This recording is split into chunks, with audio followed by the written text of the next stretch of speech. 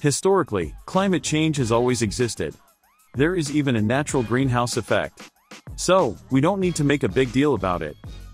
Well, actually, it's a little bit more complicated than that. It's true that a natural greenhouse effect exists, and it's a good news as it allows life on Earth.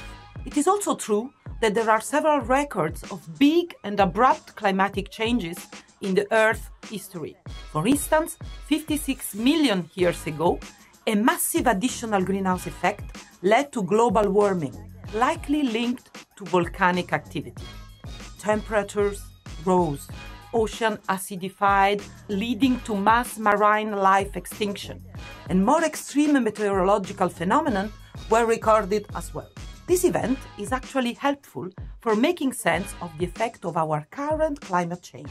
So, what is different this time? Two things the origin of the change and the rate of the warming.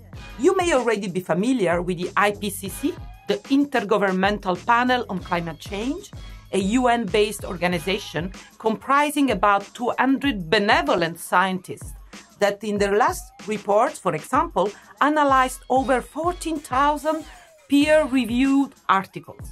Their assessment of these scientific studies states that the current climate change is without any doubt of an anthropic nature, linked to human activities, which was certainly not the case 56 million years ago.